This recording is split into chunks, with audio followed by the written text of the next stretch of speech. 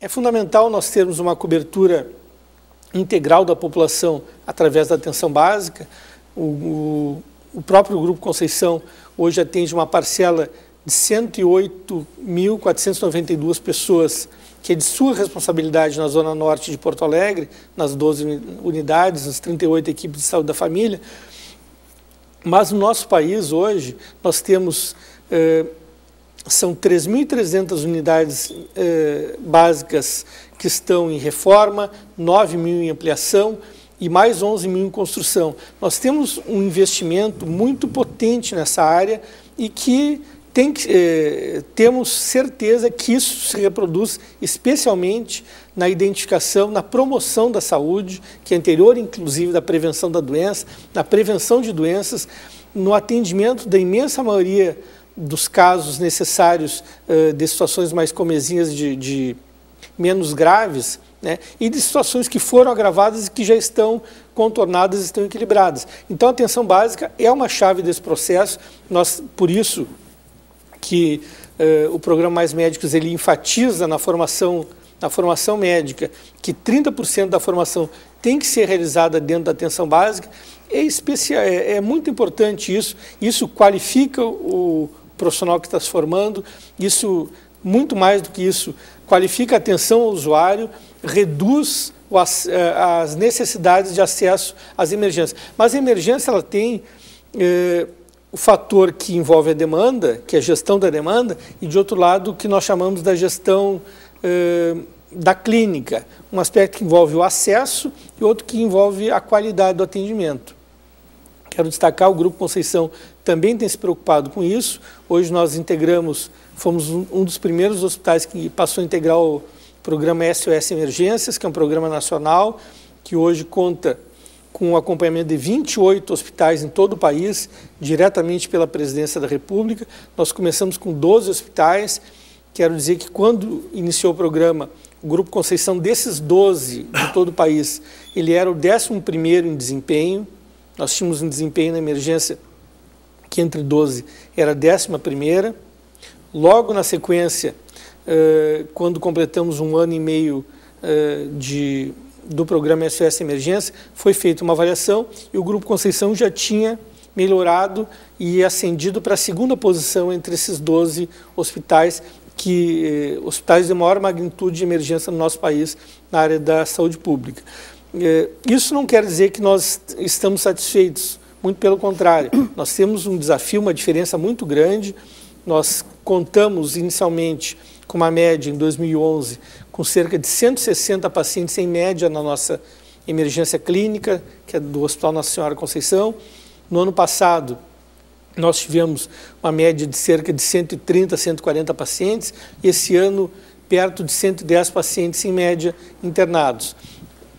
Paralelamente, eh, investimos na construção de um, de um prédio com mais 110 leitos dentro do hospital, uma unidade de retaguarda dentro do hospital, mais uma unidade de retaguarda com 100 leitos em canoas, agilização de diversos processos internos para qualificação, para o atendimento, realização de exames ser realizadas, ser realizado dentro da própria emergência. E hoje nós temos algum, alguns números que já indicam uh, uma posição muito mais favorável. A mortalidade na emergência reduziu substancialmente, o tempo de espera, nós tínhamos pacientes que aguardavam até 21 horas para consultar na emergência do Hospital Conceição. Hoje, o tempo médio na emergência para os pacientes pouco graves é de 45 minutos. Para os pacientes graves, o atendimento imediato.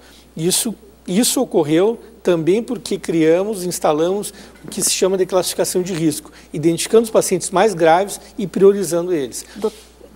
Paralelamente, foi criada, foi, nós inauguramos uma unidade de pronto atendimento, que fica localizado localizado nas cercanias do, do, do Hospital Conceição, e que atende a imensa maioria dos casos de menor complexidade. E ali também a média de tempo de espera é de 65 minutos.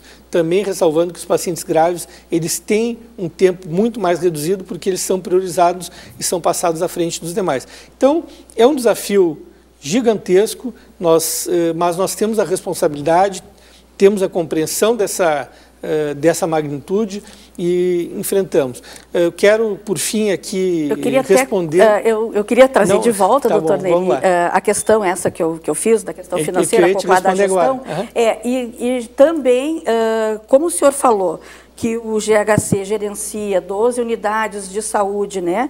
Que atende 108.400 pessoas, Isso. mais ou menos, né? E nós sabendo que unidade básica de saúde, que atenção básica é responsabilidade do município, né? Não seria isso também um desvirtuamento da atividade fim de um grupo hospitalar? E o que que isso impacta na questão da falta de recursos para a gestão hospitalar, para a questão hospitalar? Certo.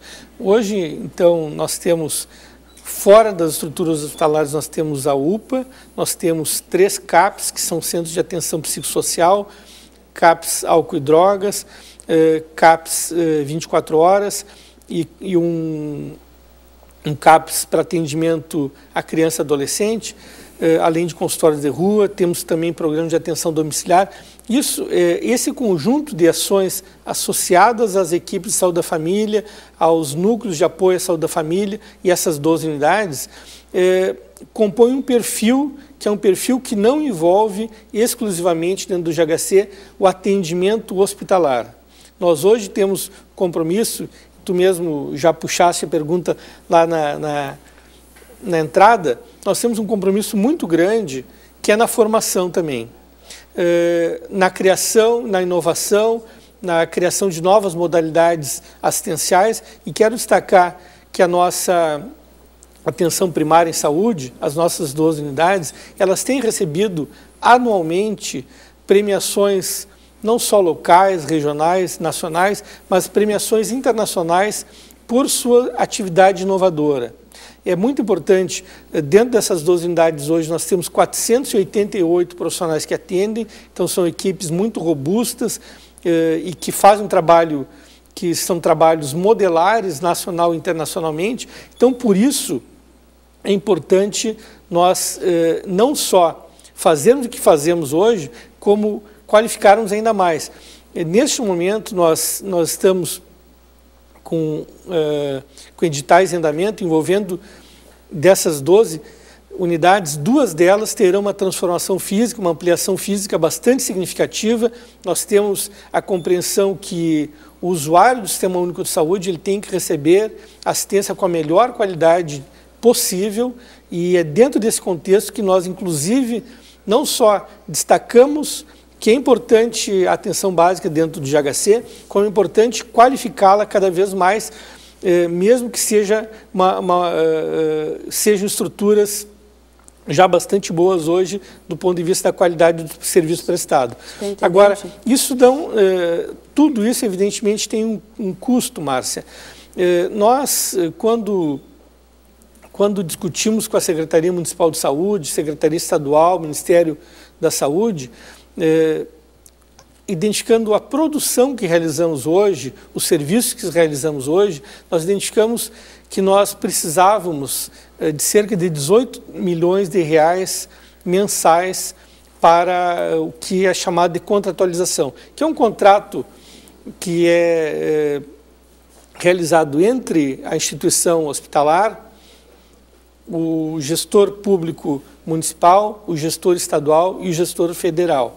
Esses entes, eles eh, aportam, devem, deveriam aportar recursos, eh, portanto, a nossa pretensão, baseado no que nós já produzimos hoje, realizamos hoje, é de cerca, então, era de cerca de 18 milhões de reais, acabou que final de março a Prefeitura de Porto Alegre eh, nos acenou com uma proposta de cerca de 15 milhões, uh, aproximadamente, envolvendo várias habilitações que, que deveriam ser uh, viabilizadas, habilitações de procedimentos que nós já realizamos, mas não somos remunerados e que nós requisitamos e não havia até o momento e até hoje, diversas ainda estão pendentes.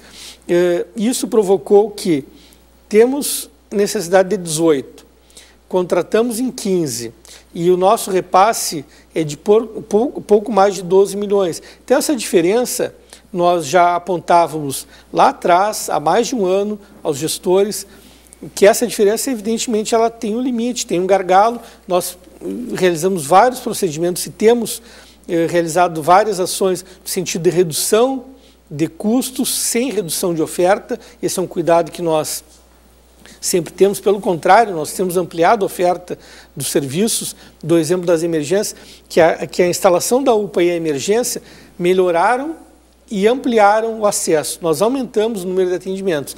Mas, Superintendente, não é um pouco contraditório investir muito em estrutura e não faltou investimento, então, no básico, que reforça a pergunta da colega, que é na aquisição de equipamentos básicos para os médicos conseguirem fazer as cirurgias. Jéssica, os equipamentos eh, nós, nós temos os comprado ordinariamente. a questão envolveu especificamente num período agora bastante recente, que foi da aquisição de materiais e medicamentos, de alguns itens de materiais e medicamentos. Eh, nós, portanto, tivemos que trabalhar durante esse ano permanentemente na viabilização dessas habilitações que nos trazem mais recursos e, coincidentemente ou não, nesses últimos dias, após essa situação crítica, houve a autorização desses novos repasses, houve a agilização de alguns desses processos, tanto no âmbito municipal, quanto estadual, quanto federal, e a nossa preocupação, portanto, ela foi trabalhada da seguinte forma. Nós passamos, durante todo o ano, a reduzir o nosso, nossa, o nosso estoque, o número de dias de estoque, viabilizando que nós tivéssemos todos os medicamentos permanentemente eh, de acesso de materiais eh, para os pacientes. E, evidentemente, que nós estávamos eh, já alertando periodicamente que nós chegaremos numa situação mais crítica. Essa situação, quero ressaltar o seguinte, ela não trouxe qualquer tipo de de restrição a, internação, a internações ou às emergências. Elas funcionaram, continuam funcionando normalmente. Houve uma redução de algumas cirurgias eletivas num período específico, e essa redução nós já temos, e nós queremos aqui destacar, nós temos o compromisso de fazer compensação imediatamente, eh, portanto, aquelas cirurgias que são cirurgias eletivas, que foram, eh, paciente consultou, num posto de saúde. Aí a central de marcação marcou para daqui a não sei quanto tempo. Chegou ao hospital e nós marcamos a cirurgia. Essa cirurgia ela teve um retardo, mas uh, essas cirurgias que foram suspensas, elas são prioritárias no nosso atendimento. Agora, esse, esse... Nós vamos passar na frente... de acontecer de novo isso? Nós, nós estamos permanentemente, eh, permanentemente em alerta, Márcia.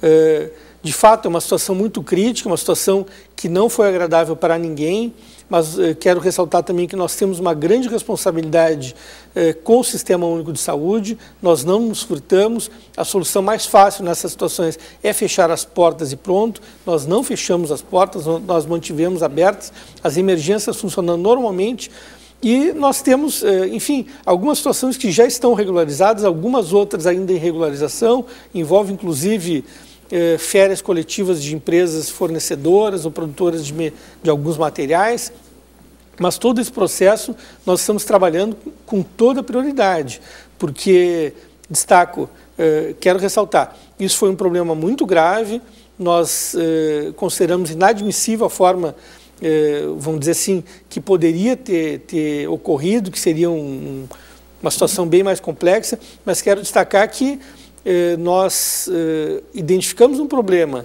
numa sexta-feira, quer dizer, o problema já estava existindo, nós fomos ao limite, aguardamos até o último momento para poder não interromper processos cirúrgicos.